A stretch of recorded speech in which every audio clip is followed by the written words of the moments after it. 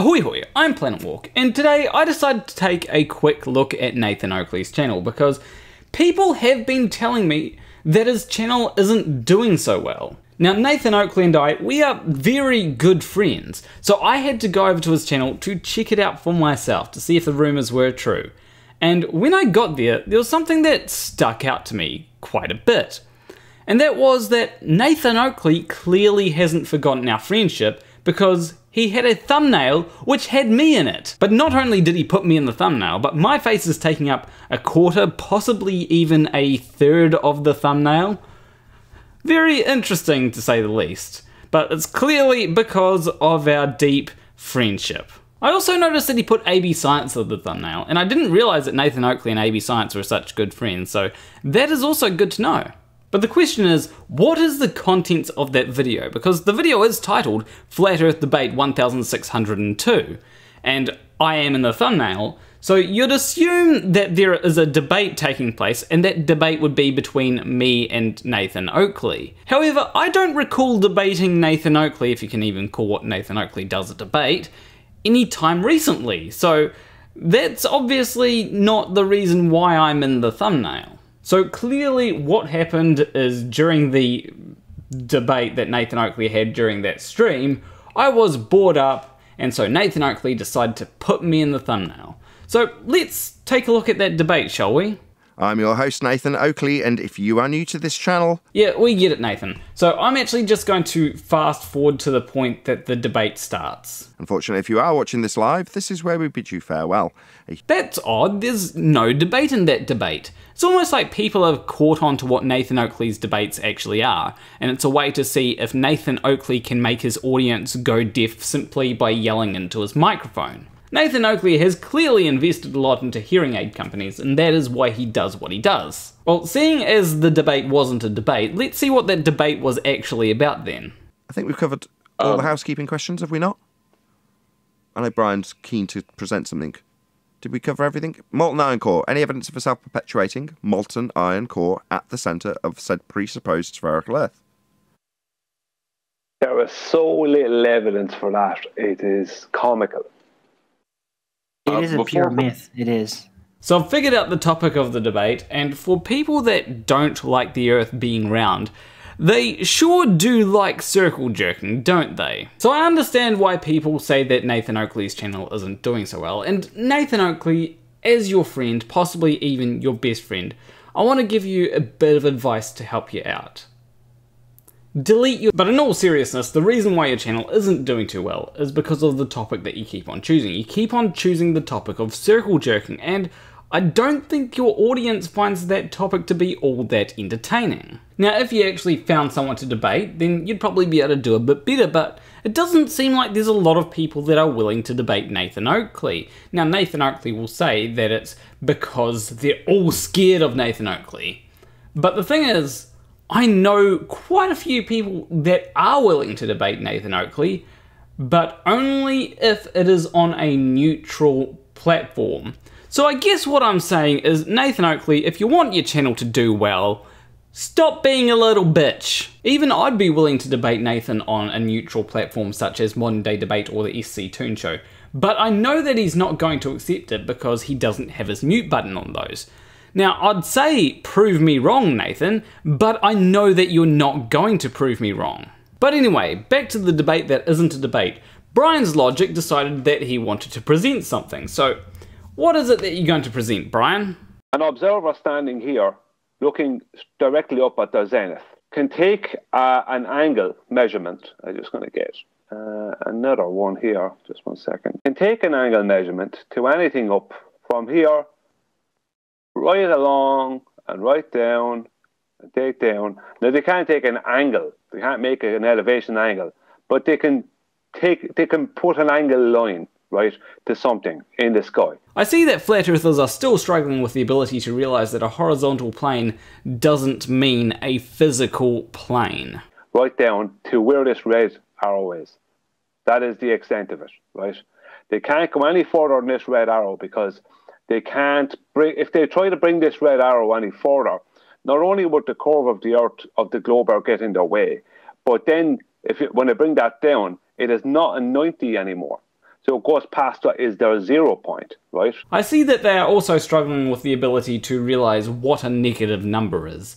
You can have negative numbers. I use negative numbers for angles in programming all the time. So if you do end up measuring an angle that's lower than the zero point, then you simply measure a negative number. You don't actually change the zero point. Now we did say that on a globe Earth, if you were to try and measure anything below that zero point, then the curve of the Earth would get in the way.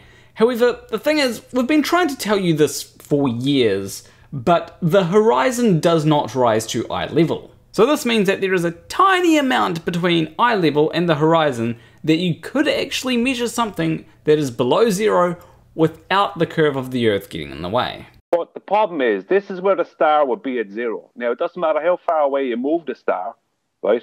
That's where the star is for them for their zero. Sorry. Anything that goes past that is no good. So this here, this red circle, that is the GP of the star, right? And this is an angle from the center out to the star. So an angle from the 90 down to zero, that is 5,400 right minutes of degree. Now that's supposed to become 5,400 nautical miles on the surface of the Earth. It's this full section here that has to that is the 5,400 nautical miles. The star that's at this point will never ever be here. They need the star to be here, regardless of how far away it is. It needs to be there, right? And if you bring it as far as you want away, eventually you're going to have to do this. That's what happens. You're going past the night. You're going past the zero. So there is a problem with Brian's logic here, and that is the fact that stars are very far away. They're not just, you know, a couple of hundred kilometers away from the Earth. No, they are light years away from the Earth. So if you get an angle of 90 degrees at the equator to a star, then the same star measured at either of the poles would practically be zero degrees. Also, let's not forget the whole size of a star. Brian's acting like a star is smaller than Earth. No, stars are huge. They are large. They are far bigger than the size of Earth. But anyway, I'm going to fast forward to the point where I get mentioned so that I can find out why I'm in the thumbnail. According to the diagram, yeah, what they're claiming, that's a geometric. It's formed by yeah. the geometry. It's got nothing to do with distance and the eye per se. It's formed by the relationship between the height of the observer and the size of the ball you're looking over. But it's a geometric horizon. Oh yeah, totally. Yeah. Oh right. We are not going to see the geometric horizon. End quote. Planarwalk. New quote. The rumpus. The geometric horizon only exists in the maths. End quote. New quote, AB Science. We are not expecting to see the geometric horizon.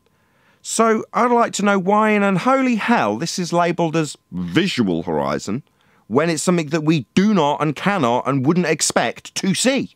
You know, the reason why it's labelled as visual horizon is it's because it's the horizon that we see, not the geometric horizon. If it was the geometric horizon, then it would be labeled as geometric horizon.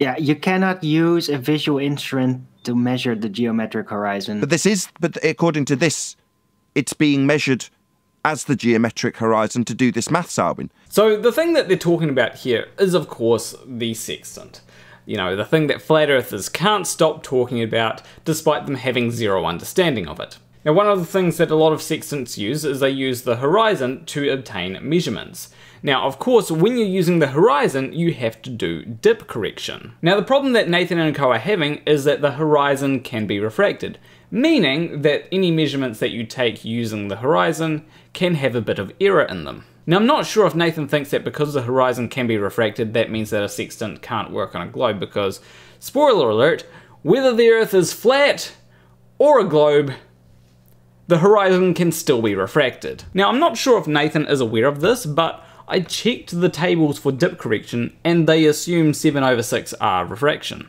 So yes, the horizon that you apply dip correction to is not the geometric horizon, because if it were the geometric horizon, then you wouldn't use 7 over 6r refraction. You'd just go, okay, not going to account for refraction here. But yeah, but fundamentally, once you dip as a baller, you're defeated because in doing so, there is that fundamental statement that your dip horizon is a correction to a leading edge, a geometric physical edge. Alright, so here we have a correction table for dip.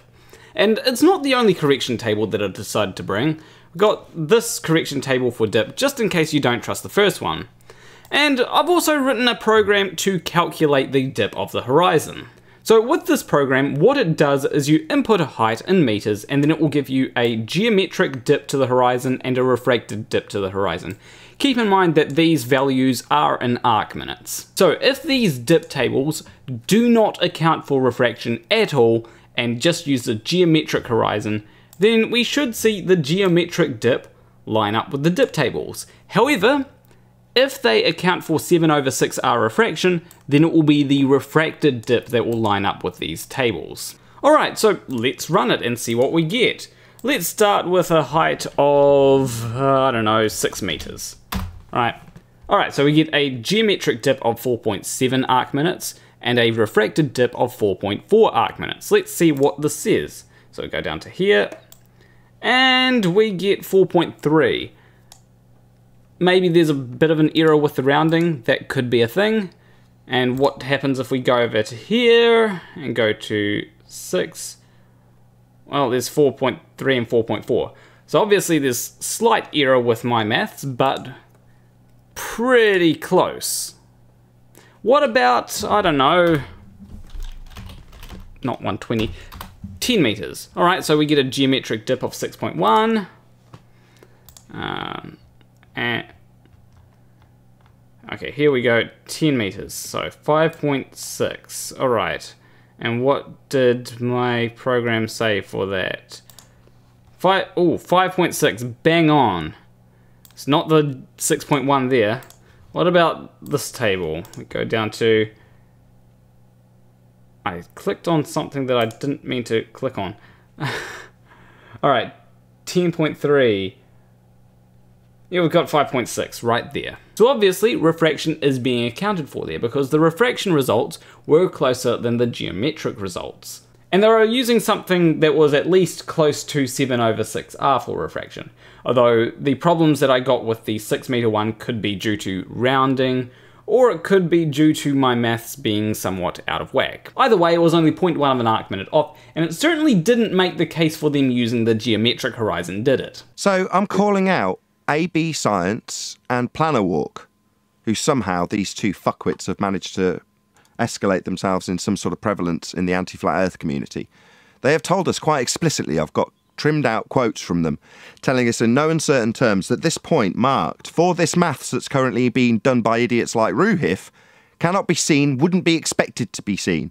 So Nathan has called me out in something that is unrelated to me. I've not talked about dip correction at all. The only reason why I'm talking about dip correction now is because Nathan brought me into this. so like a good friend, I'm going to call Nathan Oakley out. Because Nathan, you clearly haven't done any of the maths. You've just looked at a diagram and gone, oh, this looks like they're using the geometric horizon, so obviously they are using the geometric horizon. When if you actually do the maths for yourself, you find out that no, we are accounting for refraction, so we're only using a visual horizon. And Nathan, if you do decide to address this and insist that we're using the geometric horizon, then do the maths for yourself because I have done the maths. And the maths shows that we do not use the geometric horizon. Of course, if Nathan did decide to respond to this or something, you know, he could always cut that last bit out where I tell him to do the maths.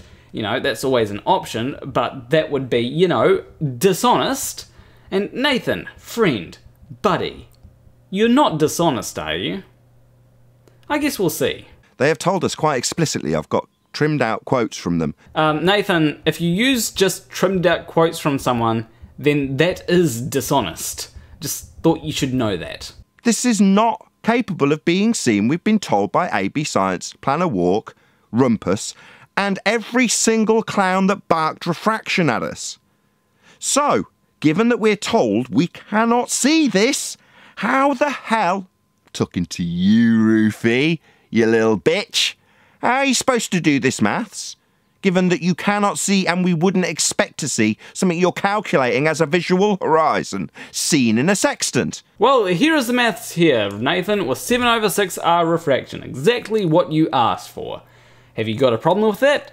If so, tell me what's wrong with it. I know that I haven't commented it, but you're a smart boy, you should be able to work it out. So there'll be a lot of people that will probably be, you know, laughing or on their way to type a comment after what I just said, and in case you haven't realized, I'm using a lot of sarcasm in this video whenever I talk positively of Nathan. And I'm sure my good friend Nathan has picked up on that, haven't you? So I think this is where I should leave Nathan and his ramblings. Will Nathan address the points that I've brought up in this?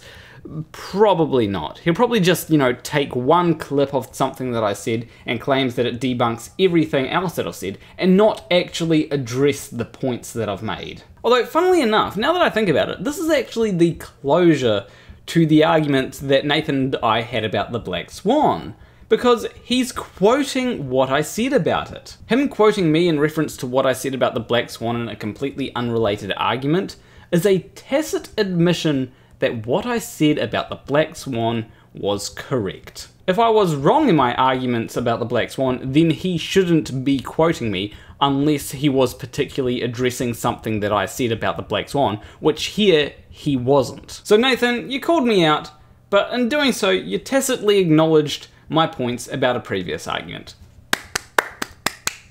Good job, my friend. But anyway, with that being it for this video, leave a like and subscribe if you like this video. Leave a comment letting me know what you'd like me to make videos on in the future. That's a very important thing because I'm running out of ideas. That's why I make Flat Earth videos, to be honest. As always, a big shout out to my $20 or more patrons. Hugh Jarsz, MC Nutkin, SHaKie, Wolfie, Morrie, Graymore Ghost, Kid Vicious, and Sacha Campbell. If you want to support me financially, you can do so on Patreon. There should be a link there, and it's always very much appreciated. But anyway, I will see you in the next video. Between you and me, thank you for watching.